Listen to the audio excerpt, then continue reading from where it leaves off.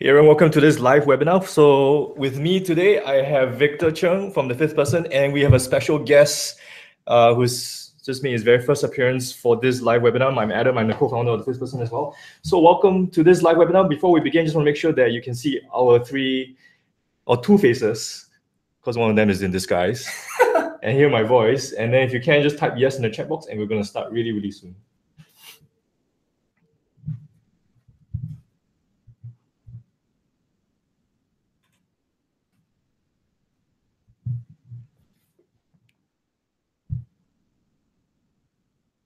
Yes. Okay. So we see all of you saying yes. William. Well, okay, a lot of names. I'm not going to say all of them, but welcome once again to this live webinar. And this is our monthly live webinar that we do where we take all your questions that you submit to us and we want to answer as many of them as we can. So we're going to pick the best questions that you submitted so far. And we're going to answer as many of them as we can over the next 45 minutes to an hour. If we don't pick your question, so sorry about that. But we, you guys really sent in so many questions. And of course, if you have any questions along the way during the show, feel free to type in the chat box and ask us as well. So once again, Victor with me and AK of uh, ASSI fame. Okay, so I'm sure many of you are very familiar with the both of them. And um, shall we get the, go the, the, the ball rolling? Sure. Sure. All right. So AK has been very silent so far. Very mysterious. Are you going to talk? yes. All right. Ah, um, since AK, you're a special guest on this show, uh, and we're very happy to have you here. We're gonna just arrow you with the first question, really, okay? Uh, so Karina has a question, so and it's specifically to you.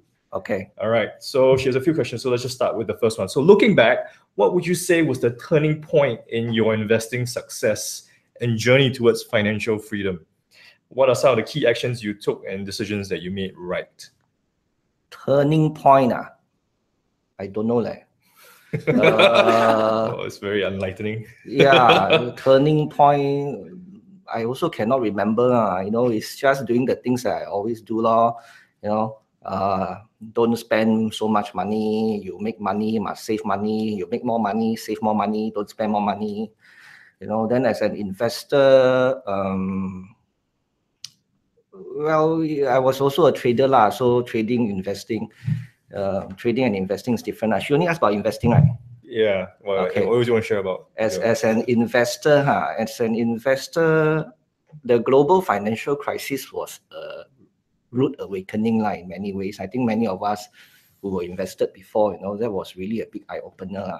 But of course, before that, there was also the Asian financial crisis, uh, but the global was uh, uh, somewhat more terrifying. Uh. Mm-hmm. You know, so uh, that one, uh, I think I have a blog post, you know, called uh, "Excuse me, are you an investor?" You can go and search for that blog post in my blog. Huh? Uh, it was inspired by Bonnie Hicks, lah. You know, excuse me, are you a model? Mm-hmm. Uh, obviously, I'm not a model, huh? So, um, because of that crisis, uh, I decided to beef up my knowledge of uh, technical analysis, fundamental analysis. So maybe that is a turning point. Uh, you know, so after that, I, I think I became a better trader and a better investor. Mm. Yeah, but um, actually, I've always been lucky. La. Mm. Yeah, so luck plays a part. La. So go to church regularly if you are believing that, or, you know, or like me, I go temple regularly. Uh, you know, a bit of luck doesn't hurt. La. Okay. um, you you share a lot of like like shares on your on your blog and everything of these companies. How do you you know? She's asking, Corinne is asking as well. How do you can you share your thought process in generating investment ideas? Investment ideas, ah. Yeah. How do you find the ideas like Kee and yeah lah? This sort of question Adam asked before many times already lah. You know, uh, Victor also have answered. Right? I just got scuttlebutt, no. You know, scuttlebutt sounds a bit vulgar, you know what, but here, but there, but then um, base, basically, you know, you have to be observant, look at things around you, and have a questioning mind. Uh, you know, hey, this business, how does it work, and stuff like that. Then I look at Old Chang Kee, of course, you know, they are in the food business, and you can find them everywhere, and always there's a long queue outside Old Chang Kee kiosk. And I say, wow, Old Chang Kee, uh, you know, being Kiam Siap AK, right? Wow, the curry puff price went up 10 cents again. You know. Other two, three months later, another 10 cents up, you know, keep going up in price, but people keep eating. Oh, good business, you know. Then uh, restaurant business, uh, how come this restaurant no need space for table and chairs one? Wow, very good, only food kiosk. The cost must be quite low. So then I went and looked at all the financial statements from all the different F&Bs, you know. I look at quite a few public listed ones. and I find Old Chang Kee consistently profitable one. eh. Okay. Uh, So this is you're basically just looking around for. let's look around. But then, of, obviously, you cannot always be looking around and finding ideas. You know, sometimes I get ideas from following the news. Uh. Mm. You know, so I'm a student of economics. Also, I like to read and get updated on news. Okay. Like for example, why I decided to invest in Japan, Saizen REIT, for example, you, know, you get updated on economics. Like for example, now why I still think it's good to invest in Japan, for example. So interest rates will stay low in Japan, even though interest rates going up in the US. So you know, it's country specific stuff. So you you have to be interested in news. Now. Okay. Yeah. All right. So I'm gonna go ask some questions for Victor right now. So Rudy has a question. After buying a share at below NTA, okay, uh, how can I fi- find out later whether this this is a value trap or not? Okay. Personally, I felt uh, if you want to buy a company, okay, uh, looking at just book value itself and buy below book value is not enough. So I used to do that in my early days and I got burned quite badly because just by focusing on numbers. But nowadays, what I do is I, I focus a lot on the, the business model of the company. Okay, whether uh, they are recurring in nature, uh, whether uh, when they when they are dropped below book value, is it a temporary situation? Okay, and do they have cash position to buffer for this temporary situation? So so e- even though it drops below book value and or e- even it continue drop our average down because I know that this they have a quite a quality business, not not say quality, let's say recurring business with good cash position, and they are still paying out dividends. So these are the things that I will, I will look at. Have you have you have you ever fallen into a value trap? Any examples? Um, okay, um, there's this company, uh, Rusmin and I used to invest in, is, is listed in, in uh, Hong Kong, it's called 361 Degrees, a shoe company. Uh, this company have, uh, I, if I guess wrong, is renminbi, if I guess wrong, and the valuation of this company is 800 renminbi, 800 million renminbi, and the cash position is 800 million renminbi. Mhm. Okay, and this company is selling at below book value, dividend yield of 8%, and increasingly paying dividend. The dividends are increasing. Okay, and yet this company turned out to be a value trap. Mhm. Okay, firstly is the business model. Okay, uh, shoe business in, in China is very, very competitive. Uh, If I've really gone down to China to scuttlebutt on this company, uh, I would not have invested in this company because I remember uh, one time I was I was in Xiamen, okay, and I went to all the shoe shop. I can literally see the salespeople right running towards me and say, 折扣,折扣,折扣. They shout discount, discount, and they pull me to buy their stuff. And this is how competitive the shoe market is in, in China. Mm. Okay. So if I realize the competitive landscape, I would not have gone in because I think I I, I hear say hear say because say, oh this this company is the Nike Adidas of of uh, China, China, yeah. or something. Yeah. It's never the Adidas. When somebody told you say this company is the next Adidas or the next Nike or the next Berkshire Hathaway, it's never the next Berkshire Hathaway Mm-hmm. or next Adidas because there's there's only one company that is there and it's very unique. Just remember that. Yeah. All right. So it goes to show that even the best investors uh, can make mistakes at times. So Yeah. we don't always pick pick winners every single time. So it's prob- investing. Some is a- portfolio, portfolio management. yeah, there's Yeah. probability in this as well. All right, let's move on to another question by Uma. Uh, she has a few, uh, and either one of you can basically answer this question. I'll just pick the first one. At any one time, how much of your portfolio is in stocks, and how much of it is under is under uh, not deployed, basically? Okay, um, personally for me is uh, I based on the market valuation to deploy my cash. So like for instance, um, two years ago, is it 2015? 2015, Mm. the market was quite high in in my in the terms I look at the market the valuation. Okay, so we are holding about 40% cash. And when it reached August, the China stock market crashed, and December the oil price crashed, and the market becomes very cheap suddenly. And by January 2016, we are left with 1% cash, Mm. or probably 3%, sorry. Okay. And right now we are still in 3% cash. Okay, and the position that we have bought, all the most of the stocks have went up. Mhm. So so we increase and reduce our uh, cash position based on the market valuation. So if the market get a bit more expensive, right, you you will start seeing us trimming our stocks. and increasing our cash position. Mm. And when the market get cheap, we will start to be fully invested. Okay. All right. So it really depends on the valuation of, Yes, of the market at the point Yes. in time. So uh, I'm going to ask AK a question. I didn't know if you're still awake because you were not moving for the last five minutes until you nodded your head. So let's just give you another question. How about that? Okay. All right. Um, Harry has a question. So um, you have talked about reducing exposure to REITs, you know, in view of rising interest rates. Um, what sectors or type of stocks are you looking at now for income investments? Since he think, you know, he thinks most of your dividend stocks, uh, since most dividend stocks have a lower dividend yield than REITs, would you invest overseas, or do you mostly invest in Singapore? Uh, I don't have any overseas stocks. Yeah. Uh, I'm a small fish, not big fish, so I don't go to the ocean. The pond is big enough for me. lah. Also, I only have Singapore stocks. But SGX not a local company. Uh, the one I don't know, I don't have. yeah. So um, interest rates, right? Uh, actually, not all REITs are bad, lah. You know, because you talk about rising interest rate, why you're afraid uh, having too big an exposure to REITs is because the cost of doing business for them will go up, the finance expense will go up. So if the finance expense goes up and their revenue doesn't go up to compensate for them, then of course the distribution per unit, the DPU would drop. Then of course your yield will drop. You know, um, so but if the REIT you're invested in is able to increase revenue uh, to keep pace with the increase in interest rate to compensate, or in fact do better than the increase in interest rate, there's no reason to be fearful of that REIT.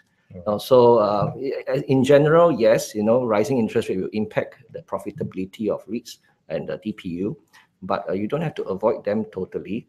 You know, um, then if you talk about non-REITs, you know, if you follow my blog, I have uh, I share about my uh, income from REITs and income from non-REITs.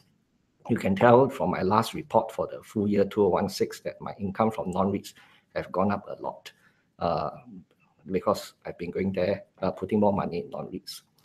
Um, so one of my favorite is actually DBS, Mhm. and I talk about this probably the entire 2016. I was talking about DBS because it was so undervalued, and uh, even today, I, I think DBS uh, is not as undervalued, for a fair value. I'm waiting for the price to pull back before I buy some Mhm. again. Um, I didn't sell all I, as the price went up. I, I sold uh, some of my investment in DBS. Um, but basically, how you want to pick, uh, you pick market leaders, lah, you know, and companies which will not be affected badly by rising interest rates. So, and in fact, DBS will probably benefit from rising interest rate because uh, the interest, net interest, uh, the interest margin for them will improve. So their interest income will improve. And uh, DBS probably is the best proxy uh, for that. lah. Then if you look at DBS, they pay out about one third of their earnings as dividend. So you, you still get dividend income and the balance that they don't pay out, they just retain earnings. So you look at DBS NAV, right? It's very amazing. uh, Every year, the value goes up by more than a dollar. So even if you just hold the stock, right, every year is getting more valuable. Mm. Yeah. So yeah, And that's if you think about Singapore banks, they're very stable in a way. Mm, they are very safe, lah. Singapore banks are Very very safe. highly regulated. Uh, I didn't say that, huh? So uh, if any one of you work highly for regulated is safe. work for government, uh, remember not I say one. Yeah. Yeah. Okay. So Government probably knows who you are. though. Yeah. so currently I have a position in DBS and OCBC. Right. Uh, UOB I don't have. Mhm. Uh, UOB uh, not I'm not saying it's a bad but a thing, you know, but then uh, UOB is a bit more conservative, lah, which Yeah. can be a good thing. All right. Okay. So Yeah. again, not a recommendation to purchase any of Oh, the no, no, no, no. securities that we mentioned No, during no. this webinar. You- you- So yeah, you read my blog, you you see Yeah. all these things anyway, lah. okay, Yeah. um, let's move on to another question by. Uh, let's pick another question here by Sandra, and either one of you can answer this one. So let's go to the U.S. now. How do you do you look at investing in the Dow Jones Industrial Average? So the the Dow basically. Is it safer to invest in the Dow versus uh, Singapore, Malaysia markets since the USD is appreciating? All right, and uh, Trump is going to the White House. Uh, I mean, that, that is anything happen with that. So, what do you think? Personally, I think that the US market is very expensive right now. Yeah. So, which is the reason why we are not invested in the US except for one company. Okay. Uh, we are still we are away from the US right now until they become much cheaper. But of course, you know, US valuation can go even higher than its current place. So for us is we want to remain very fundamental. We look at the valuation. Uh, of course, the US index is a good place to invest because in the long run they're always going up. The Asia inde- uh, the Asian index are generally more volatile, as not and, and they do not perform as well as in the as compared to the US index. Okay. So, but if you want to invest in index, you still have to spread yourself. You cannot invest everything into the US index. You have to spread among the rest of the few index that you felt that economy will grow. Like companies are probably like cut index like Hang Seng Index. Uh, the Singapore index and Malaysian index have been quite sideways in the past few years, but but generally it will go up in the long run. Mhm. So please spread your your risk among all the different index. Yeah. Okay. Uh, and for you, you don't invest overseas anymore. No, I Yeah. only have the Singapore index. Yeah, this is, uh, very, sad. Like, Pro. Singapore. Yeah. Best place on earth. Yeah, yeah. All right. Um, let's take another question.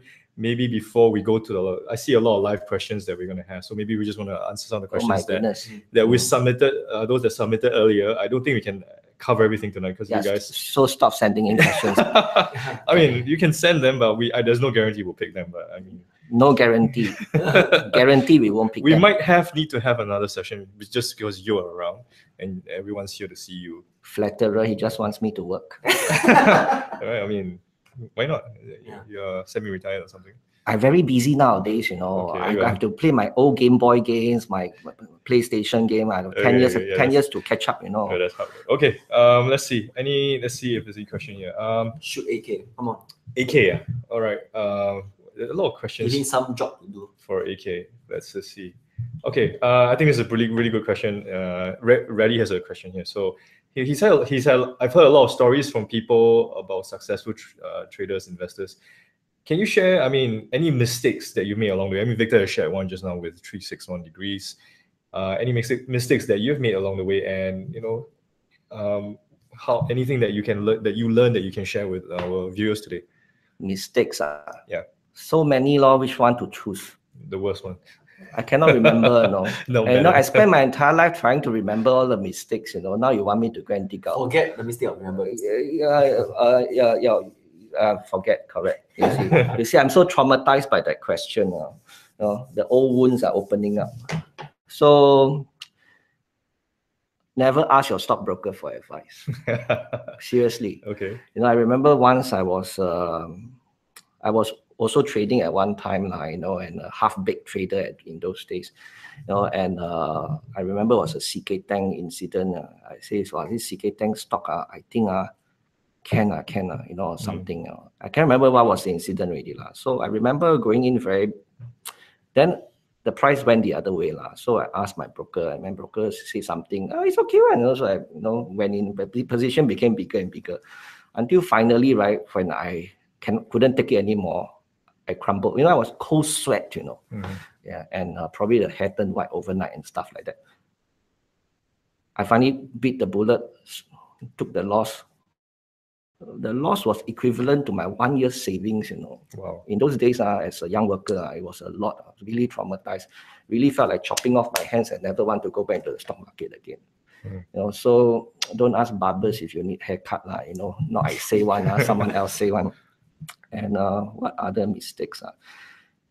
Uh, so many lah. Um, don't listen to friends whom you think are insiders. You know, so for example, I was invested in Raffles Medical. I got in at 50 cents. Can you imagine? Mhm. If I've helped you today, you just imagine. Uh. Then I knew someone, a friend who's working in Raffles Medical. He tell me, ah yeah, Raffles Medical, oh, the director's very sway one, uh, they wow, treat the staff very bad. Like, oh, they, this hospital going to die. already." Work inside, right? Thought insider ma, can trust law. But not everyone work in the hospital is an insider, you know. So just now you work inside is an insider, no such thing. lah. So so long. So now how? Cry until no tears left, lor. ah, so Okay. Peter um, got something to say. just to continue on his point when he talk about insider. So for AK case, I, I believe that his his friend is a, actually an employee in the company. But you to understand the dynamics of how office or or business world is, usually the employees are always complaining and there's a lot of politics. So Ah, so when we talk about insider, right, when you get really get secrets or insider, it's really from the top management people. who they don't they don't complain, but they are the one that running the actual business instead of they are the one that doing the low level stuff. Yeah, they are the ones that's exploiting you lah, you know. Don't say so bad lah. People are making money, so Ah, yeah lah. so just remember, always uh listen the information with a piece of uh pinch of salt. Sorry. Yeah, and Yeah. It's, it's just best to go do your own research. Yeah. Yeah. Yeah. So you want to see whether really good or not. lah. You see whether the insiders buying the stock or not. lah. If the insiders are buying the stock, uh, that means something good is going to happen. They are not going to put their own money at Yeah. risk. Ma. Okay. Ah. All right. Uh, let's take some of the questions that you've been asking live uh, so far, and uh, we may pick a couple of them before we go back to the questions that many of you have submitted. So um, let's just ask Victor about this one. It's about the fourth telco. I think you've covered this before on the fifth person. So I think Daryl here wants this wants an update. So what do you think? Of, what do you think of, of the possible impact of the fourth telco for like StarHub? Uh, and what do you think of the recent partnership between StarHub and M1? If if you have any views about it. Okay, the fourth telco is going to be a very big impact in uh, for StarHub especially. Okay, and moving forward, generally I felt that I feel that StarHub probably get, going to have their earnings reduced. Mm. Okay, uh, I give a reason, uh, example of a scuttlebutt that done by Rusmin. Okay, so basically Rusmin, uh, his whole household signs the hubbing strategy. Mhm. So they basically signs the phone line, the mobile, The the mobile. the cable TV, Cable TV. and the broadband. and the broadband. Yeah. Okay. And recently, StarHub give that his bills used to be very high, and StarHub gave him a no-brainer deal. I can't remember how much, but it's a it's a lot of percentage cut. I, I get a, actually get twenty five percent discount. Twenty five percent discount for me. right? Yeah. So so they are trying to lock in all their customer right now, and and and and they say it's twenty five percent discount. Okay, so imagine all their hubbing strategy customers are are are getting a twenty five percent discount. Do you expect their earnings to continue to be the same in the in the next one to two years? Now it's not it's not going to be the same. And StarHub always have been very proud of their own hubbing strategy. But if you look at StarHub, M1, and Singtel, right? If your hubbing strategy is really working, the churn rate, which is what the uh, uh, the telcos use, say that uh, the number of customer defected, Yeah, leaving to- yeah. leaving them to Yeah. another uh, telco. Everyone is, at the industrial rate, industrial average. Mhm. Okay, everybody's hitting the same amount of churn rate. Mm. So there's no difference between the the M1 is StarHub and Singtel. Mm, Okay, so basically, if, if they just prove that the hubbing strategy actually is it don't really seems to be working, Mm. and if it's work, really working, Mhm. they should not be giving so much of a discount from the existing plan. Well, for me, I mean, because we have a lot of lines there, as well Yeah, yeah. twenty five I percent. mean, actually, Rusmin want to cancel the StarHub Yeah. deal actually, already. yeah, but, but because they give him a, a you know a huge discount Yeah. and it's a very very no brainer as a value investor, it's a no brainer deal. Of course, you take. Mhm. So you know that they are going very very competitive. So Mm. in the probably one or two years down the road, when the real tel- the telcos coming in, Mm. it will really affect all these players. Okay, even though they yeah M1 and StarHub working together, Mhm. They it will definitely affect them. all right. Right. So, I mean, uh, Deji, do you have any views about this? I mean, do you do you? Tomorrow I sell my StarHub shares, lor. so, I mean, it's yeah. not a recommendation of myself. Don't listen to him. Uh, I, I actually bought more yeah, yeah, when the price dropped to below 280 and I blogged about it. Yeah. Um, I like to think that all investments are good at the right price, but Mm, just don't ask me what's the right price. mm, Um, I just instinctively feel that if the new telco, the- when the new telco comes, they're supposed to start operation in 2018. mhm. So there's another one year plus to go. Mm. It won't be so smooth sailing. lah. Uh, it will take time for them to gain traction. And um, I don't know if they are going to offer cable vision. I don't think so, right? Not yet, not yet. Yeah, so I think M1 will be more impacted than StarHub. lah. Uh, I mean, uh, logically speaking. Mhm. And actually, my experience is quite different because for me, right, I see people switching to StarHub. Uh, like my sister recently, she moved and then she stopped Singtel, she moved to StarHub. She says Singtel is terrible, the broadband and stuff. I Mhm. don't know if it is. Uh, Uh, well, I, I mean, I, have a, I have a personal beef with Singtel because since they screwed up their Premier League uh, season Ah, so many years ago, they, they- uh, I don't want to. you want your re- you want I'm never going to go to Singtel. re- revenge. yeah. I'm gonna so you, for you, it's, a- it's, it's I'm personal. Starhub. okay. Yeah. So you see, so uh, I mean, there are tr- detractors, supporters, and all that kind of thing. But I think uh, you know, if Starhub you get in at a relatively good price, you know, which I think two seventy something is pretty cheap. Like you don't agree, right? No, no, I I'm not saying that. I'm just saying that the industry is going tough in the next one to two years. Yeah lah. Okay, I'm not saying that you should sell StarHub or you should buy StarHub. Uh, But but what I'm saying is that probably now this is the earnings that they, they have. Yeah. And they're going to give you the dividend based on this earning. Yeah. So mm, can you take a 25% cut on this current earnings in the next one to two years when the new Must- telco come in? So if the current cut of the 20 uh, 25% of the current earnings pay out a, probably a dividend yield of 5%, are you okay with it? and Right. I and I think that you also have to make a distinction as to because now we're all talking like consumers of Yeah. for Starhub, right? Because because Starhub also has that uh, business business Mm the price business, which they have been going in very strongly. And actually, that has been contributing more to their earnings. Mm. And, and that one seems to be a growing segment for them. So even though they give you more discount over here, if they are able to make up for it somewhere else, you know, what Hokkien say, yeah. right? chi chang right? Mm.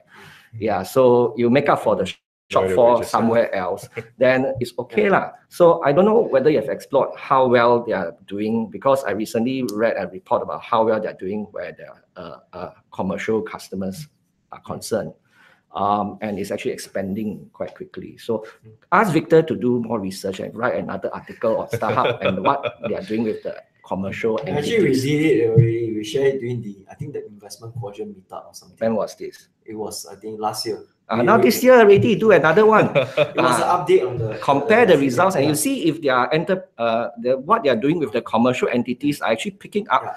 and uh, the, the picking up the slack then there's Mm. i think there's less reason to worry about starhub there's more reason to worry about m1 Mm. Definitely, definitely. It's- but it's but all for yeah. my take is is you have to always be conservative in your calculation. Okay, I I, I do not want to take in the, the business unit because I want to be conservative. If Okay. I'm conservative and yet I can accept this yield and this yield is give me a very cheap price to get a higher yield, my downside is covered. okay i'm going to do all readers all viewers a favor victor what do you think is a fair price to go in Well, I put, he was putting you on the spot right Yeah, now. you can't put me in a spot right now. i can No, because i'm, he- I'm he a bought it- starhub yeah, shareholder He bought it. at two- two- he- i want to know I haven't really go calculate it. I didn't really go Oh man, you are I, evil. uh, haven't no target prices here, okay? Yeah. But You anyway, you, email, you were there's no saying that you, you, you bought it at 280. You Two think, se- you think 270 plus 275 is a good price? you i didn't say 275 270 plus Yeah, okay, 270 plus. So I- yeah, and this is a good price also because you know it's it's Wow. I, I, I, I the average You should down. not say out the price. So now, I block about it, what, so I, Yeah, it's- you it's say, already- oh, it's AK already- buy at 270, I also can buy public, public, you, you, you buy lower than AK, you are safer lah. Whoa.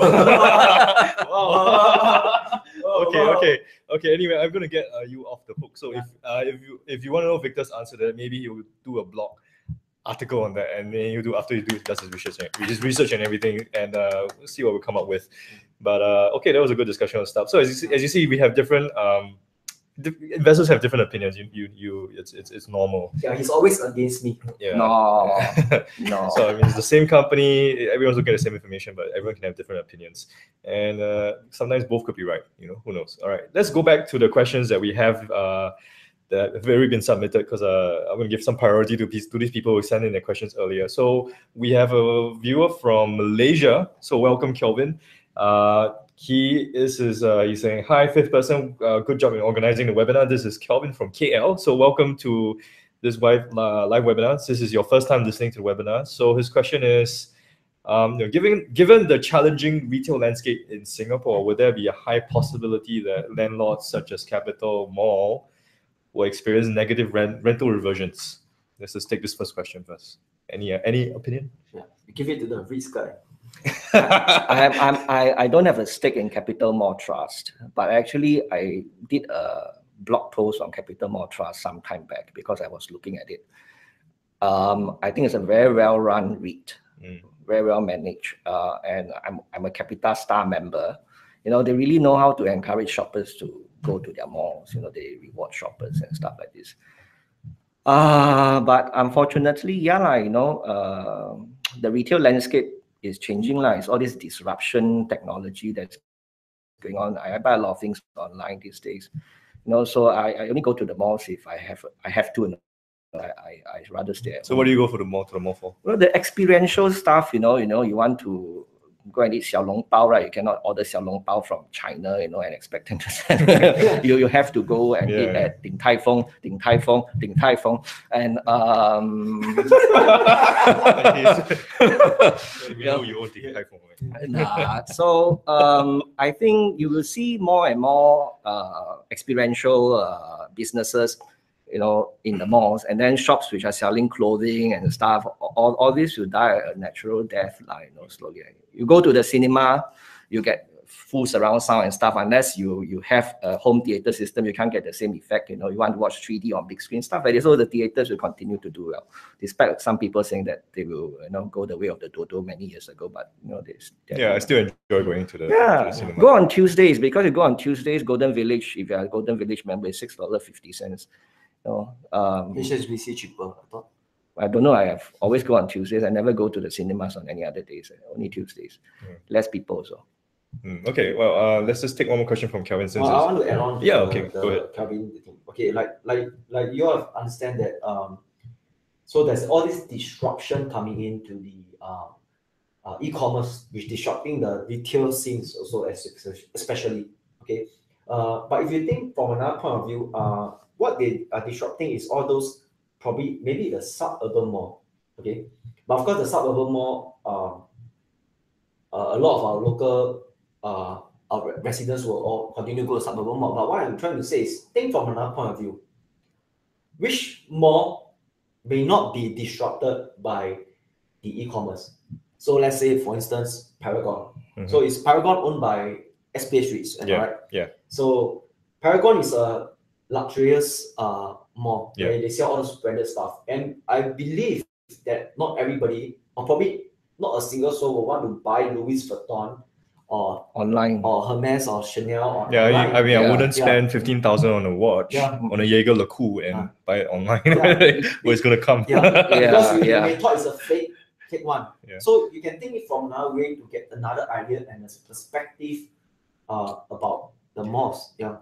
Yeah. Okay. So so there are still pockets of uh areas where you, you still have to go to the mall just to, to, Yeah. to Yes, yes, shop, yes, yes. enjoy yourself. the malls won't still go to the disappear. mall. The Yeah, malls the won't mall, disappear. Yeah. Yeah. It's just probably transit to more F and B. If you notice, there's a lot of F and B. But I think he is worried about their revenue being impacted and stuff like that. And you're doubly worried because interest rates are going up and it's going to go up three times this year. You know, that's the forecast. So, So you have to choose your REITs properly. Frankly, I think CMT now is uh, not cheap. lah. You know, uh, you look at it, it, is what's the yield now? Five point something percent, I think.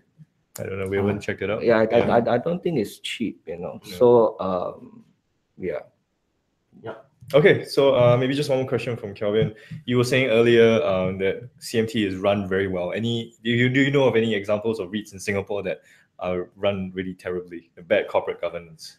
Well, I have big exposure to industrial REIT, so I can tell you Sabana REIT is very badly run. Wow. Okay. I, I've said that in my blog uh, Yeah. many times, uh, and that's one reason why I reduced. It used to be one of my big five um investment in S REITs. You know, um, IPO, then the price fell to 80 something cents. That was during the fiscal cliff uh, fiasco, and I bought more. And and it went up to a dollar thirty something, and then uh, the yield was pretty good. It was a double digit yield for me. Then then they did some fun, funny business like buying a warehouse that's only 50% occupied and couldn't find tenants and uh, and then they, they keep doing acquisitions and sale and of course they get their fees um, and the impression i got was uh, they're more self-serving than shareholders they, they serve themselves more they're there for the fees and um, so that's an example, lah. and then and that's when the own when the insiders, the major shareholders, and I say we're, we're thinking of selling our stake. Oh my goodness, I mean, they their interests are no longer aligned with unit holders. They, they don't care because they are they don't have any skin in the game anymore. You know, so and you look at Sabana, it's a disaster, lah. You know, the price is now thirty plus cents. I think the IPO was uh, what more than almost a dollar or something. I can't remember. Yeah. No, no, thank I just like to drink water for him because I know he can't drink water. He won't take out his mask to drink water. Yeah. So you, I, I, I cut my exposure, you know, and it, it still turned out to be a good investment. I think my return was like 13% per year, you know, uh, I'm, I, um, and then recently they have a rights issue. I think to, today is the last day. I, I think close already. 9:30 is the last time. Uh, is a closing uh, the, the, the deadline. Yeah. But I'd like to say that again, what Peter Lin says, you know, all investments are good at the right price. Mm. So someone actually asked me about Sabana REIT's rights issue. So whether it should take part and stuff like that. So I say the rights issue at 25.8 cents probably gives you enough margin of safety. But if you ask me whether I'll buy some more at 35 cents, I'm not sure. You look at Sabana REIT last year, I think that DPU dropped by 20 30% Mhm. in one single year. That probably break Guinness Book of Record, like if there's such a thing in Guinness Book of Record. So if you think that, you know, this year maybe the same thing will happen again, then what is acceptable to you? So, you know, after the rights issue, you can do the calculation if you think it's a 4 cents DPU. A 4 cents DPU, 35 cents you buy is more than 10%. But if it drops 30%, then you're going to get 2.8 cents DPU. It's going to be less than 10%. But if you go for the rights issue, it's 25.8 cents. It's still more than 10%. So I think if you subscribe to the rights, it's okay. But if you buy some more, then and you expect more than 10%, you could be disappointed. Could be, yeah. Yeah. I mean, who knows? Maybe, you know, they turn over a new leaf and then they suddenly do very well. Okay. Yeah. Uh, let's just stay on the topic of REITs since we have so many. We have quite a few questions about REITs since. Oh, uh, really? since Okay. I think because you're around. So uh, KK has a question here. I mean, Victor can can, can answer this as well. Uh, Uh, for REIT, how do you determine its its uh, cheapness relative to its quality? For example, if you go by DPU yield, how much yield should we expect after considering the quality and the risk of a REIT? So This is very difficult question to answer because it's so hard to quantify something like this. There's a lot of qualitative element involved, right? Management's quality. How do you quantify management qual- quality? You know, so is it just by how much they're able to pay shareholders year after year? That is one way, you know. And but you must also see how are they growing the yield? How are they doing it? So, for example, I say, oh, if the DPU grows year after year, must be good. lah. Mhm. Then you can look at how they do it actually just increasing their leverage. The gearing goes up year after year. They buy more properties. Of course, it's going to be yield accretive, uh, but something has to give, right? If now my gearing, and that's exactly what happened with Sabana. Mhm. When they listed, right, their gearing was 20 plus percent. It kept going up. Of course, the DPU went up, right? But then in the end, right, because it- they did a lot of value destructive stuff, the gearing stayed high, but the DPU dropped. So the performance that's good, right, was an illusion, Mhm. Right? Instead, you want to see whether it is sustainable, right? My largest investment in the REITs universe is now AIMS AMP Capital Industrial REIT. It has been like that for a long time. I blog about it a lot. You see how they increase DPU. They do a lot of AEIs. They do a lot of redevelopment. They don't just go and keep buying new buildings, right? And when they do AEIs and stuff like that, actually they don't get any fees, you know, but they maximize the plot ratio and uh, then you see redevelop. So they in, improve value. They create value for shareholders, and uh, they are able to get higher rent at the same time. So it's not just increasing value; it is also increasing income right? Which is of course part of value lah. You know, so the, it, it, you mean you can own an asset that you know now two million, uh, previously was half a million. The value went up, right? But if the income stays the same, what's the point, right? So income must also go up. So you must see how they're actually increasing value. So this is management quality. How do you quantify this? Very difficult. Hmm. Uh, just be more observant. so you're saying there are a lot of qualitative factors behind understanding a REIT. Yeah. Any stock, no, just not just looking at the numbers. It's not. Oh as, yes. no, How it's they arrive at the numbers. Yeah. So I mean, uh, I mean, let's just carry on because Jonathan has the same question. How how do you go about what are the criteria of picking a REIT to invest? Uh, do you have any any opinion on that? How do you go about looking at a REIT? Since Okay. yeah, There's there's many things you have to look into a REIT. Okay, you have to look at what kind of property they own. Mhm. Okay, uh, where's the location of the property? Yeah. which is also a very important thing. And how's their tenant mix? You don't want them to be like one whole building, one single tenant. Is if that one tenant just change, it's very risky. Mhm. Okay, and what's the property you are you getting? and how is the manager managing the, the property. Is, are they managing well? Are they increasing the DPU of for the shareholder? Or are, are they a very aggressive uh, manager that goes around buying uh, more and more property? Which is what happened in Sabana. Mm. Yeah. Okay, so generally I prefer more conservative manager. They can focus on AEI, which is the Asset En- Enhancement Initiative. Mhm. Then you follow by the numbers. Uh, are they heavily in debt? A majority of their assets being, for instance, uh, being tied. The uh, majority of the assets are, uh, I say, uh, incumbent assets, which means that they already collateral their property. So when crisis happen, do they have the opportunity to you know to buy more property? You understand where I'm coming from? That means they can they can use those unsecured, unencumbered uh, property and they can take lo- take up loan to buy new more properties at the correct opportunity. Then followed by the valuation. Okay, we always want to buy the the company uh the the REITs at a cheap rate so that our U are high and there's a possible upside. Mm-hmm. Okay. Anyway, if you're interested in research, just go ahead and read what uh, AK has written yeah. on uh, we are high. I mean, I mean, uh, I mean high. And, or, or you can just check out Dividend Machines that we're, uh, we're going to launch uh, pretty soon. We'll give you more information if you're interested in that. Um, with, besides that, let's just have one more question related to REITs, and then move on to other topics. Yeah. Huh? yeah. So uh, this this lady has a question. I'm not going to re reveal her name because I think there are there's some sensitive information. Okay. So her question is for someone aged 50 years old with about two hundred thousand dollars in cash. Is it would it be too aggressive to invest in REITs, let's say 80% in REITs and then the, the rest in bonds to generate a higher yield? Is that a, too aggressive and uh, a strategy? Well, it depends on who, who you talk to lah. You know, if you go and talk to your banker, then they say no lah, buy REITs or what? Or go and buy a bond fund lah. You know, yeah. Um. Okay.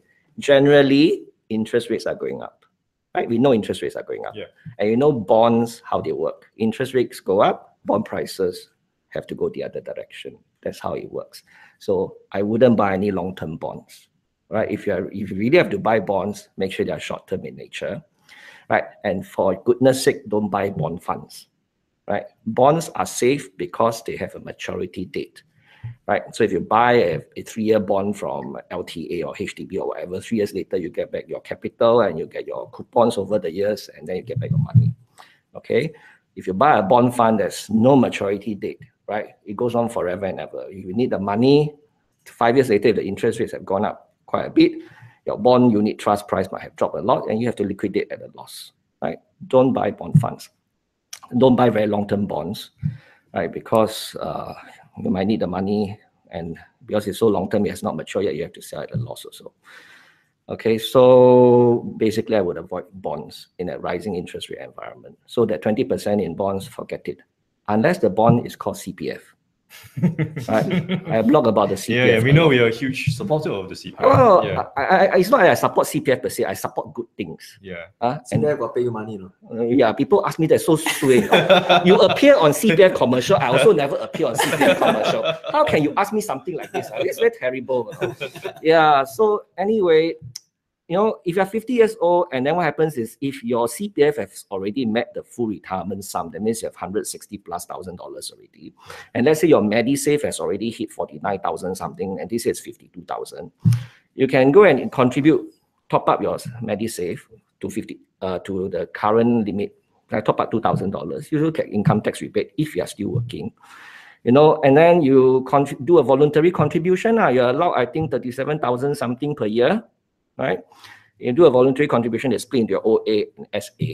You get 2.5% to 4%. Over the next five years, because you're at 55 years, so you can take out your money already, right? If you meet your full retirement sum. So it's a five years bond or five years fixed fixed deposit, however you want to look at it. You get 2.5% to 4% per annum. Where to find? CPF law? Yeah, so don't bother with the bond funds. I wouldn't bother. Then as you talk about talking about REITs, right? REITs for the income investor will always be relevant. It is uh, for investor for income, right? REITs is something is in between a stock and a bond. It's neither a bond nor a stock. Actually, a REIT is a unit trust, right? Um, that's why there's management fees, right? The managers are there. What happens is you have to understand that like bonds, REITs will be impacted by rising interest rates, right? So if they don't increase their revenue, then chances are the REITs unit price will drop.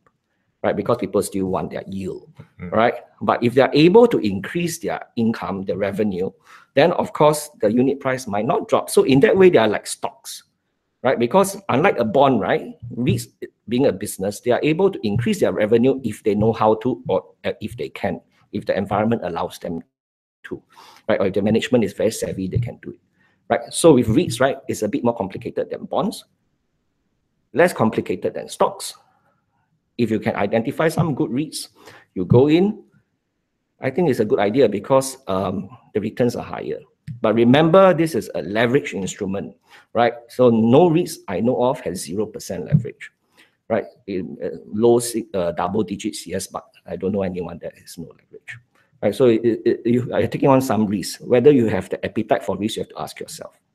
Okay. Um, let's move on to some of the live questions that we have. Just pick a couple, and then we go back to our, our pre-submitted questions. So, um, I mean, let's stay on this topic of bonds since uh, we're talking about it. Albert has a question. What's your opinion on Singapore savings bonds? Then, uh, are they a good alternative investment? Singapore savings bonds, I, think I got four or five blog posts on this. You can go to my blog and search uh, Singapore savings bond, you'll read about it. Whether it's good for you or not will depend on your circumstances and what's your motivation, right? So if you just want something to lock up your money for the next 10 years, right? And you get 2 point something percent per annum, you're quite happy that it may mix a CPF OA, then okay. But remember, you must hold it for 10 years. Because if you take it out after two years or one year, your coupon is much lower Mhm. right? Is to Yeah. encourage people to lock in their money for a longer time. Yep. Right. So if you want to put your money, which is your emergency fund, in SSB, you can get two point something percent. Then it is of course wrong already. What you know, your motivation is emergency fund. That means as and when you need the money, you want to take out. Then you are better off putting in a fixed deposit. Right. But if you think that this is a retirement fund, long term, I'm not going to touch it. I leave it there for 10 years, then maybe it's okay. lah. But for me, I say I won't touch SSB. lah. Okay. Right. As an opportunity fund or emergency fund, I don't think the SSB is suitable. All right. Okay. Again, this is not investment advice. This is basically opinions by. Uh, Well, I'm just talking to myself. yeah, he's talking. He's not talking to any anybody. He's, Yeah. I'm not. I here. can't even I'm see here. anybody. I'm not here as well. Yeah. My voice is actually in his head. Yeah. He's talking to me. I'm a IMH patient. ah. I always hear voices. ah. Yesterday, I heard voice uh, in my head ask me to eat pizza, so I ordered pizza. All right. So just, so just basically just a reminder. We're not giving any advice. We're just sharing what we know from our experiences. So please always uh, do your own own The- homework. Yeah. 不要害我们哦。 Yeah. Okay. So uh, let's just take one more question from the chat. Uh, this one is a bit interesting. So uh, this person Skylar has a question. I got burned, and he's got a mental block now going back to the stock market. Just now you were saying you wanted to chop your hands off. Yeah. So and he's now only an observer. He, that he doesn't dare put his re- any real money in. So how do you overcome uh, something like that and, and get back into the markets? Very simple. If you get out of the market, you can never make back your money. You have to tell yourself that. You're out of the game already, what? Yeah. No chance of winning back already, what? So slap yourself, lah. You made a mistake. Learn from the mistake, law. So what did I share just now? Uh, don't ask barbers if you need a haircut, right? And then don't ask your stockbrokers for advice, right? Yeah. So you learn along the way, lah. The do's and don'ts along the way, try and error, ma. But always keep your positions appropriate, lah. You know, then even if you lose money, you're not going to kill yourself, bang your head on the wall until you bleed. Yeah, Yeah. yeah. Position sizing is really important. You can't put everything in one stock and go hail mary on the whole thing. Yes. Yeah. Yes. So position sizing is based on your own circumstances, not based on someone else's. Yeah, correct. Yeah. So don't give up. Don't give up. Um, in your case, right? I'm not giving you advice. ah, you can consider. ah. okay. So if you say you got burnt, right? Were you burnt because you speculated? Right. If you speculated, that means you bought something. You think, oh, I think this is one dollar. Tomorrow it will be two dollars. That kind of thing is speculation. It's not investment, right? Because nobody can really say what will happen in future. We can only give an opinion of what we think will happen, but we cannot say will happen. So if someone tell you, wow, really can happen, then uh, you take it with 10 spoonful of salt, lah, then you get high blood pressure. yeah. So don't give up. Don't give up. In your case, if you really cannot, then maybe you do paper trading first. Oh. You buy something, then you hold, you know, your, your recovery time might be longer. Then one year later, you say, wow, price went up, I didn't use real money. Then you bang your head on the wall and you die. That's a joke. Huh? What I mean is, don't give up. You give up, you never make back your money. Yeah. So, but basically, you can't you can't use this for gamblers. You can't go. But back, actually, yeah. if you are a high flyer, you have a good career, you make a lot of money, your, your salary is very high, right? Yeah. I always say there's a certain group of people are very lucky. They love their job and they make a lot of money. Yeah. Actually, they don't need to invest. And if they have very frugal lifestyle, they save most of their money, right? Within 10 years, maybe they're a millionaire, right? But don't they still need to put their money somewhere instead of They just put in fixed deposit and uh, put in government bonds, put in CPF and all these very safe thing, no volatile, no risk, nothing one. Very happy. 20 years later, they $2 million, you know, if they decide to quit because they have a frugal lifestyle all along, it's enough for them. You know, so I, I'm not in that, that position. I am not a high flyer, so no choice. Law. All right. Okay, let's uh, go back to the questions that we have on our list, and maybe Victor, I'll ask you the next question. Uh, Jusian has a question here. So he notices some stocks payout ratios have are more than hundred percent for the past few years. So why do they do this? And should we avoid the, these kind of stocks? Got example or not? Um, no, he didn't No, say. he He, just he didn't say. He didn't say. Yeah. Yeah. Um, sometimes companies just want to pay out like special dividends and it usually uh, will cross their net profit. But I, I, I don't believe that the company will pay out more than 100% every single year. Okay, you will definitely burn their savings. So for instance, imagine I'm I'm making 2000 a, a month and every month I give my my, my debt 3000. I think no matter in the, it's just in a matter of time I, I'll, I'll be a, a poor guy and broke. So that same goes for a listed company. It's, it's not very healthy for the company keep doing that. And more or less, your company probably won't be growing a lot.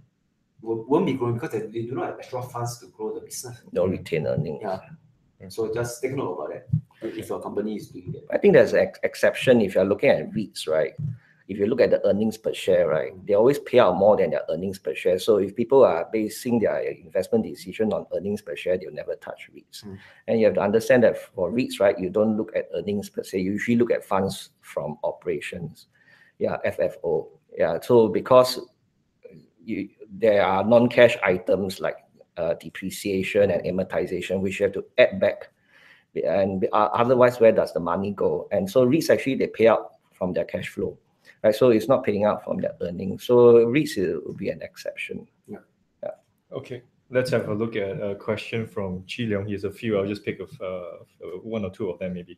Um, I think maybe this one Victor can answer. So, in your opinion, what's the most important? What are the most important metrics that you can use to gauge to tell whether a market is overheated? Okay, you use the you go to the Bloomberg app, look at the market PE. Okay, if you able to get the market PB, that's the best. Mm-hmm. So you look like for instance, the the average PE for the US index is about 15 times.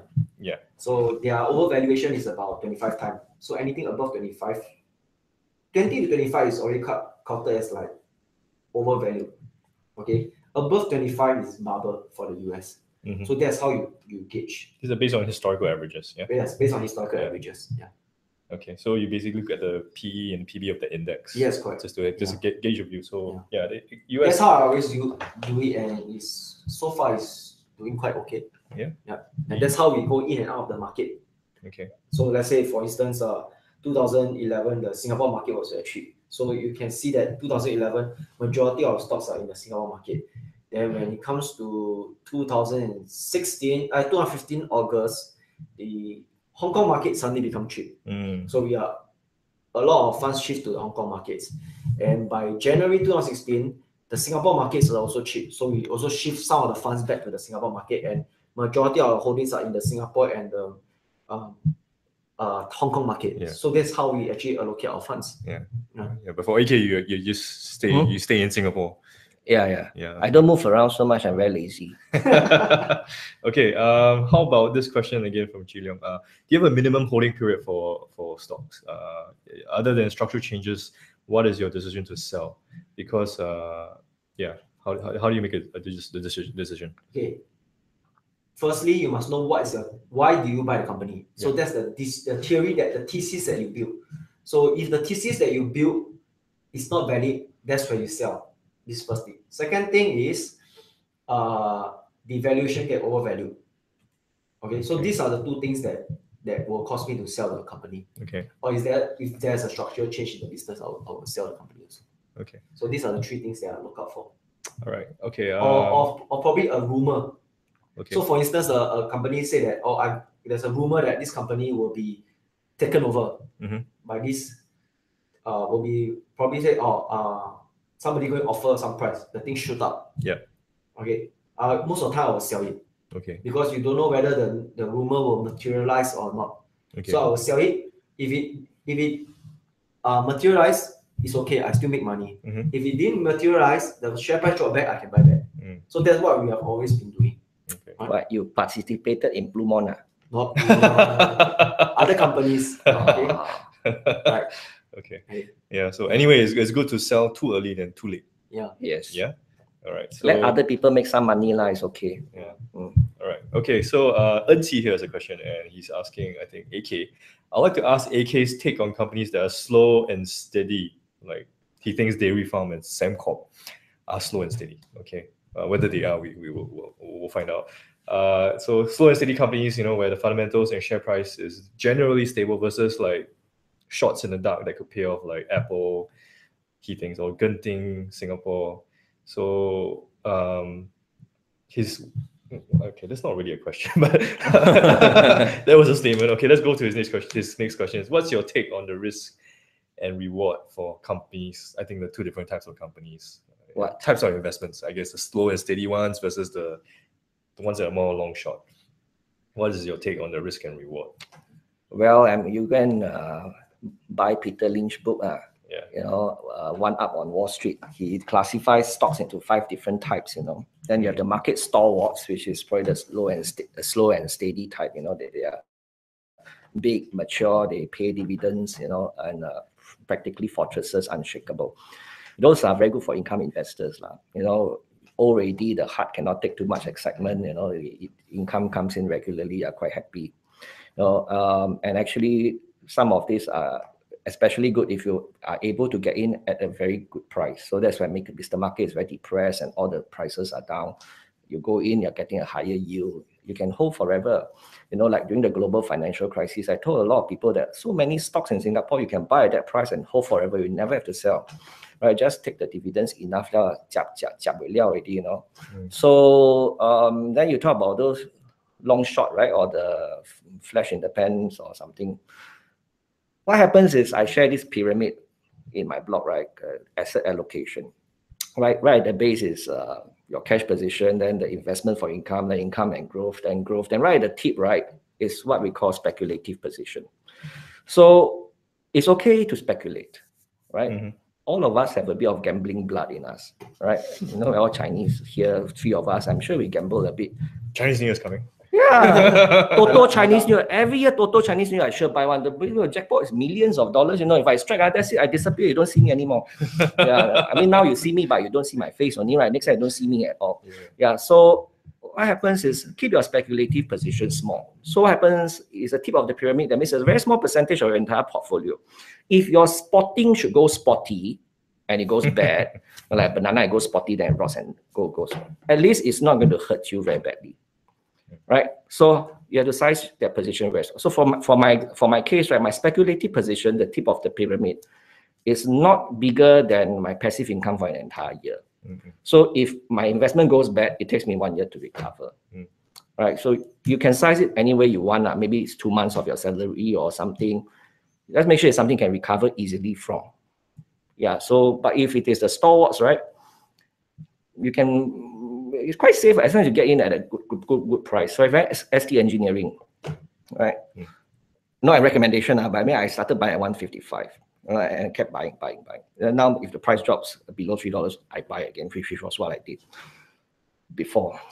So and then I just take the dividends, lor. You know, it's very steady company. Just take the dividends. Not very exciting, lah. You know, like people like Victor say, "Hey, you're also boring." You know, yeah. But for me, okay, lah. Okay. It really depends on your personality, Your what- what you like, motivations, what you prefer, Yeah. What are you Mm. after? and what's your financial situation as well. Yes. Yeah. Use the right tools Yeah. for your situation.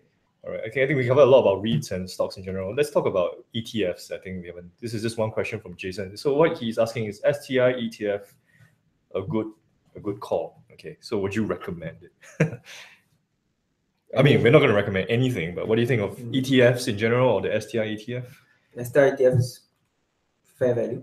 Fair value. There's a lot of the markets have recovered, and now I would say the majority of the markets are in the Asian markets. Majority are in fair value or slightly above fair value, where the US is already at the overvalue uh, region, but not yet at the bubble. Mhm. So the market right now is not as cheap as as what I, I can see. So yeah, so that's why we are always sitting on the fence waiting for the next opportunity again. It, it again depends on what the what he wants to Yeah, do. yeah. You know, if if he's thinking of trading or something, right, then an ETF is of course a poor choice. You know, uh, but if you're thinking of getting exposure to a basket of stocks, you know, and you want uh, exposure to their performance, but you don't know which one to buy, Mm. you know, you buy a basket, so that's an ETF. Then uh, you can there's POSB Invest Saver, there's OCBC Blue Chip Investment Plan. You can go and compare. I blog about uh, one of my guest bloggers, Matthew Sia, blog about both of these is in my blog. You can go and read about it. Um, but investing in ETF, right? You want to benefit from the dividend. You want to uh, benefit from the long-term growth. Like Warren Buffett says, right? He doesn't know what the stock market is going to behave like in the next few weeks and next few months, but he knows over a very long period of time it's going to go up. Yeah. So if you have a long-term horizon, ETFs probably. So again, it really depends on the instruments, the, the tools, the right tools for your own situation. use the right tools Yeah. For your motivations. Yeah. So ETFs have a place, especially if you're a lazy investor. You know, we can do an analysis Yeah. in, in, in the individual stock. You can just buy a basket. There's still volatility Yeah, for sure because course. it tracks the stock market. Yeah. But if you are that type you cannot take volatility one, uh, CPF lah. Go back to CPF.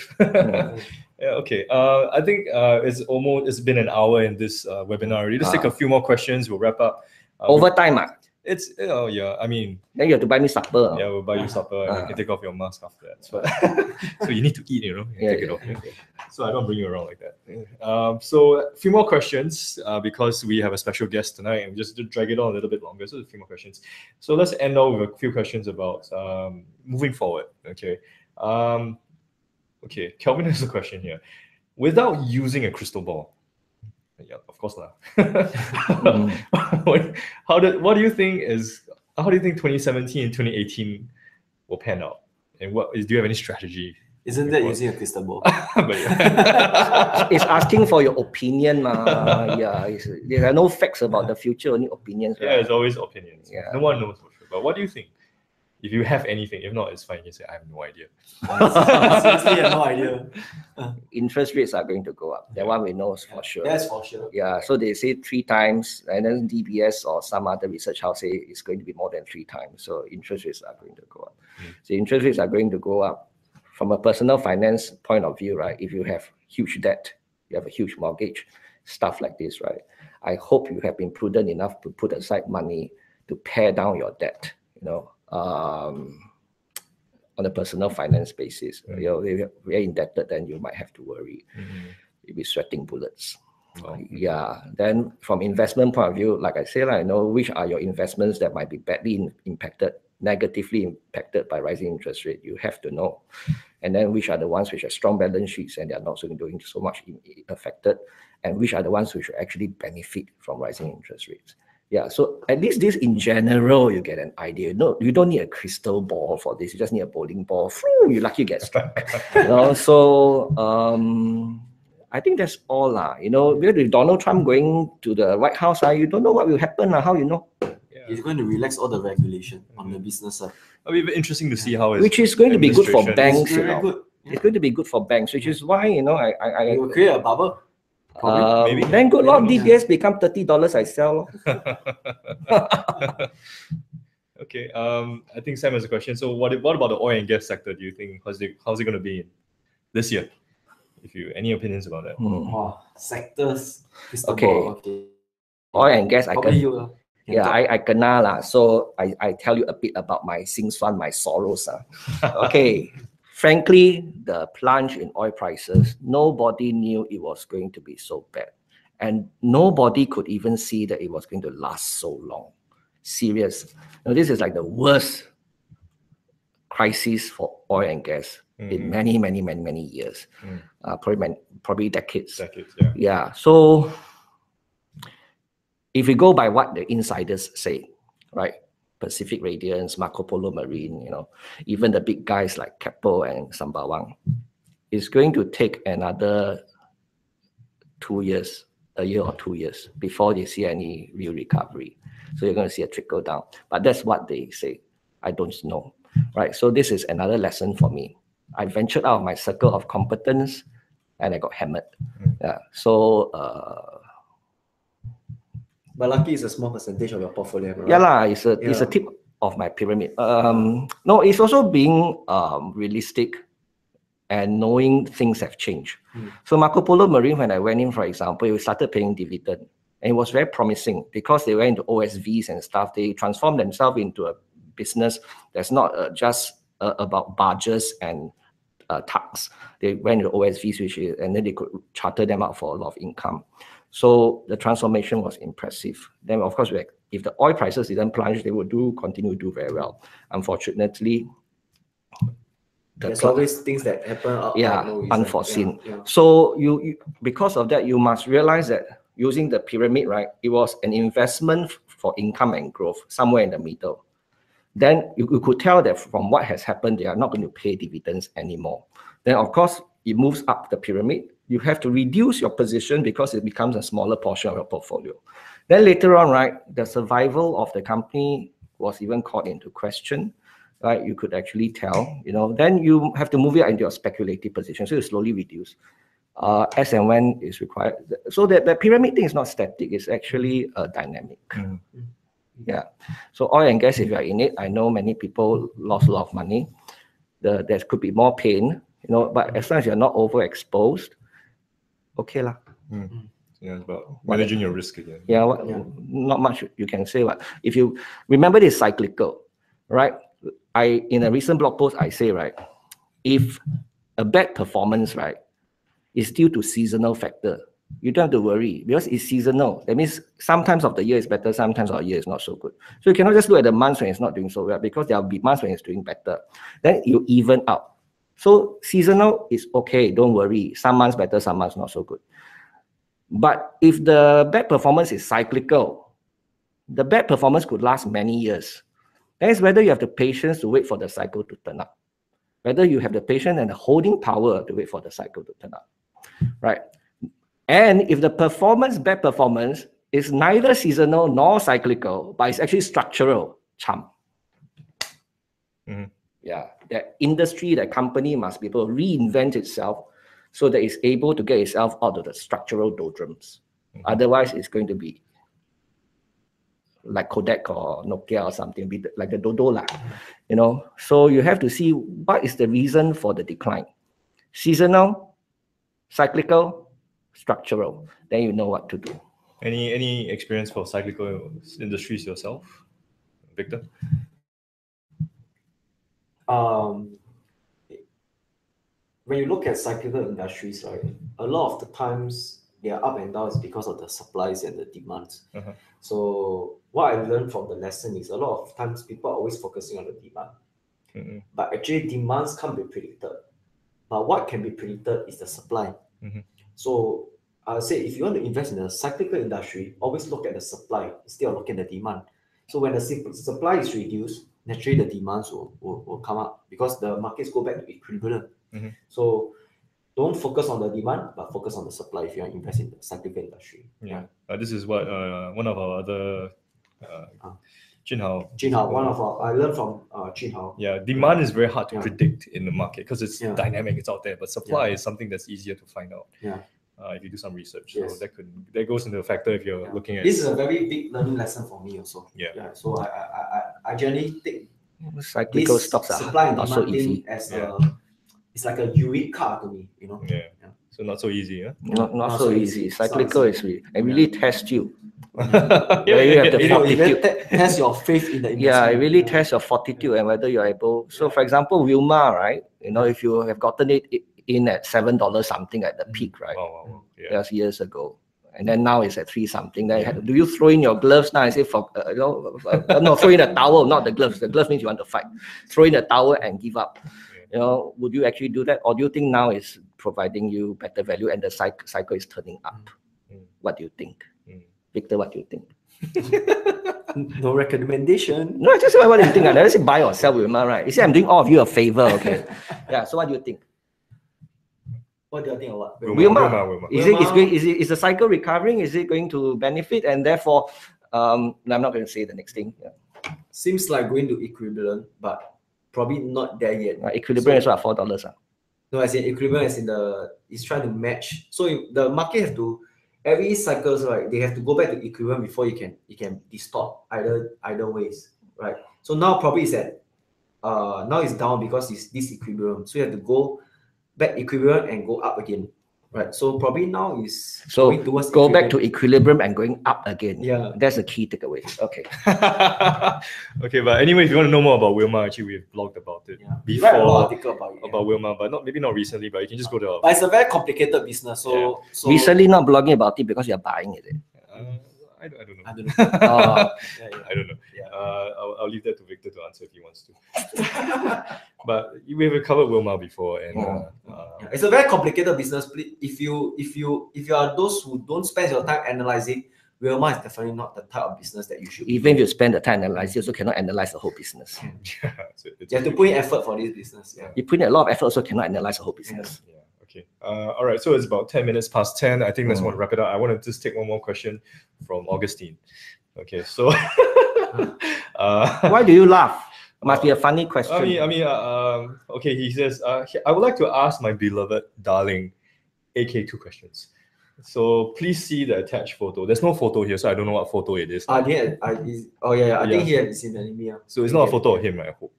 Yeah. No, no, right? POSB? Photo- POSB. Interest rates. Okay. Okay. So, what is it? How much? 8.5. 8.5%. Okay. Okay. So that's Eight point five percent saving. savings interest. Wow. Oh. Over how many years? it was a long time ago when I was Oh, 1980. Oh, okay. okay. It's like When I Singapore was- offering 8.5%. when I How was did a- get that picture? when I was a primary school student. Yes. Okay. Alright, So Kenji is back there anyway. So um, so Augustine Ken, Kenji is back there. yeah. so his question is, what is the likelihood likelihood that you will see this kind of interest rates again? Never say never. okay. Never say never. Okay. And if it really does happen, will income investing be relevant? Of Uh, course. Okay. Interest income Yeah. is part of income investing. So you get 8.5% interest income from your savings. As an income investor, you'll be quite happy. But you must remember, if they offer you 8.5% interest on your savings, uh, inflation is probably through the roof. Eight point five percent what fixed deposit. That's the saving. Fixed fixed deposit, lah, I think. Fixed deposit. Yeah. But Anyone anyone from 1980 that was I was only we were kids. I was only nine years yeah, old. so anyone older than that. But honestly, if you ever seen your bank interest going up to eight percent, I think you I'd rather put my money in the bank because it's risk free as compared to the you know. But if, it, if it's going to be eight point five percent, That means the interest rate is very high. stocks It's, have it's yeah, probably better. because inflation is through the Yeah. roof. That's why they need to have higher interest to pull No, back which is means that the market pressure. is overvalued at that point of time. Eh, So in order to keep yourself safe, you should put your money back into the bank. Okay. Right. All right. Oh, So it's oil crisis. When Yeah. was the oil crisis? 1978 was it 79? Yeah, I, I That's think the there was Iran- oil, Iran cri- oil crisis, Oil right? crisis is history already, lah. You know, so and then I think that it, there was a very bad bout of inflation, and then interest rates have to go up to try to rein in. But you also must also take note that because at that point of time, Singapore is still not as developed right now. Because as the country a country get more and more developed, the I think rate it was a worldwide phenomenon. is it? Interest rates Oh, were probably interest rates were point. interest rates were interest rates were, were, were high everywhere. I wasn't born as well in 1980. Uh, yeah. So if we have an economist amongst our viewers, maybe the economists can tell us more details. But I'm sure if you Google, you can read about it. Maybe- You know- yeah, maybe you ask someone older. If interest rates go up so high, Yeah. usually it's because inflation is through the roof.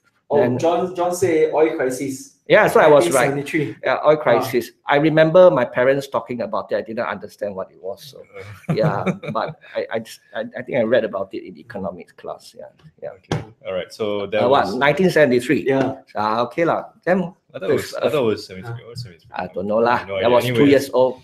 This is true. so you know how old you are now. okay. Yeah. so anyway, uh, his next question is, when will be the next evening with AK? I want to hug hug him again to improve my luck for this new year. Okay, so anyway, uh, we have no idea when. No lah. This year I don't feel like doing it. I'm very lazy. Yeah. yeah, Depends on my mood lah. Huh? yeah. Okay. Probably you all want to the evening with AK with fifth person webinar. No, I, don't, I don't want to do this again. I'm, I'm I, I told people I'm doing this because I'm repaying a debt. What debt are you repaying? I'm repaying a debt because Kenji helped me last year to organize evening with AK and friends. So I'm repaying a debt. Yeah. Uh, Okay. Okay, so we can move on to questions. So um yeah, I think I think we can we can wrap it up. It's been it's like 10 15. Yeah. This is the longest No aircon, you know, very warm. yeah, yeah. So it's uh I mean the longest webinar that we've live Yep. Q&A webinar that we've had so far. And uh want to wrap it up. So thank you, Victor, thank you, AK, especially for joining us this time around. Yeah, welcome. we really hope you'll, you'll be back again, uh maybe sometime. We- not, we- not so we- soon, but We negotiate lah, my fees later. uh, with supper lah. Uh, your, your, your supper must be quite expensive, I think. Din Tai Fung. oh. more than that. Anyway, okay, we just hope. Well, we hope you'll be back. Maybe not so soon. Maybe sometime. Uh, Next uh, decade. yeah. Well, not so long lah. We'll. If, if I strike all Toto this Chinese New Year, that's it. okay, if you strike Toto, fine. I mean. Yeah, that's it. bye bye. right, and uh, we'll, well, thank you. Well, thank you all of you for joining us as well. So, thank you, Victor. Thank you, Yeah. AK. Thank you all of you for joining us. Uh, we hope you enjoyed this session, and uh, so sorry if we couldn't answer all your questions because there are really so many of them, and we were we're trying to just trying to pick everything and then put it all together. And as you know, it's already one hour fifteen minutes for this. So Forget everything you have heard. Just treat this like an episode of the news, okay? Uh, yeah. so we So, see you at the next webinar. the next webinar will, will probably be next month or in March. We'll let you know again. And Man says here, hello AK. I just wanted to thank you for always talking to yourself. He's benefited a lot from it. Man. Man. Yeah. Oh, Yeah. yeah. Welcome, man. I'm glad you have benefited. Yeah. So I give you my bank account, how you transfer some money to me. you give back a call, you know your name, huh? See, man? I just, I have no idea. I just Uh, trying to scare you. Oh, okay. I don't know. okay, I give you Kenji's bank account number, you transfer to him, then he pass the money to me. Yeah. Okay. So again, thank you so much for joining us. Uh well uh have a good night and we'll see you again. Bye bye. Bye. Thanks.